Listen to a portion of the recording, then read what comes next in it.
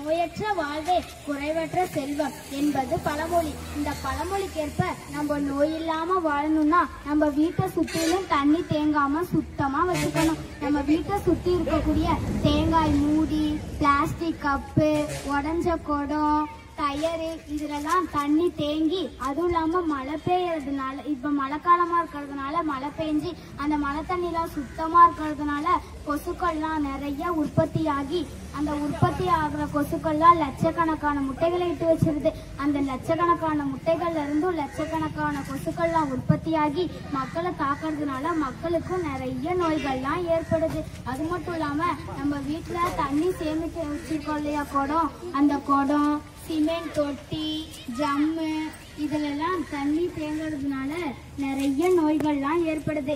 இந்த பொருட்கள் எல்லாத்தையும் வாரம் ஒரு முறை நல்லா ப்ளீச்சிங் பவுடர் போட்டு தேய்ச்சி நல்லா சுத்தமாக வச்சுக்கணும். சுத்தமாக வச்சுக்கிறது மட்டும் இல்லாமல் அதை மூடியும் வச்சு பாதுகாக்கணும். மூடாமல் விட்டுட்டோன்னா அது சுத்தமான தண்ணியாக இருக்கிறதுனால அதுலேயும் கொசுக்கள்லாம் நிறைய முட்டைகளை இட்டு திரும்பவும் நோய்களை பரப்போம். அது மட்டும் இல்லாமல் நம்ம கிராமத்துக்கு பக்கத்தில் இருக்கக்கூடிய அரசு ஆரம்ப சுகாதார நிலையத்துல தரக்கூடிய நிலவேம்பு கசாயம் இதெல்லாம் நம்ம குடிச்சோம்னா நோய் இல்லாம வாழலாம். நம்ம உடம்புல வந்து மூட்டு வலி தொடர்ச்சியான வாந்தி கண்ணுக்கு பின்புறால வலிக்கும் அப்புறமேட்டுக்கு இடுப்பு வலிக்கும் உடம்பு வலி வயிற்று வலி கடுமையான தலைவலி அதுவும் இல்லாம நம்ம உடம்புல அங்கங்க சிவப்பு புள்ளிகள்லாம் இருந்துச்சுன்னா ரொம்ப ஆபத்து. நம்ம இந்த மாதிரி உடம்புல வந்து இந்த மாதிரி அறிகுறிகள்லாம் தெரிஞ்சிச்சுன்னா உடனே நம்ம கிராமத்து பக்கத்துல இருக்க பக்கத்துல இருக்கக்கூடிய அரசு ஆரம்ப சுகாதார நிலையத்துக்கு போய் சிகிச்சை உடனே எடுத்துக்கிட்டோம்னா நம்ம டெங்கு காய்ச்சல்ல இருந்து குணமாயிடலாம்